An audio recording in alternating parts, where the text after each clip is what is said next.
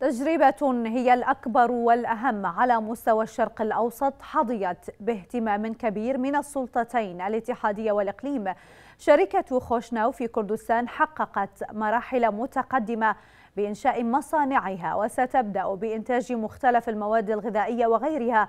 على أن تطرح منتجاتها في تموز المقبل. الشركة التي زارها وزيري الزراعة في المركز والإقليم تعهدت بإنتاج نحو مليون وخمسمائة وأربعين ألف طن من مختلف المنتجات سنويا.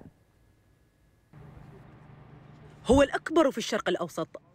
بمساحة 1200 دونم يضم 60 سايلو لكل واحد منها 5000 طن سنويا.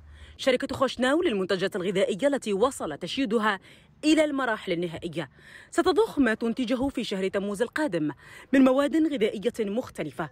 كالعلف والدقيق بمعدات ومكائن هي الأحدث في هذا المجال على المستوى العالمي.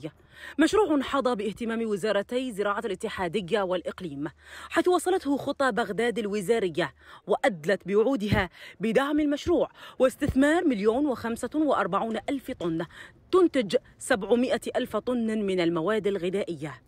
خوشناو رجل لم تتوقف عجلة تطور مشاريعه عند حد معين. فسيلوات الحنطة تأخذ حيزا هاما من طموحه. فالرجل يرغب بالحفاظ على فائض الحنطة داخل البلاد أفضل من إخراجها وأن تعود دقيقا إلى الوطن ذاته. وإيقاف الحاجة إلى استيراد منتوجات من خارج الأراضي العراقية.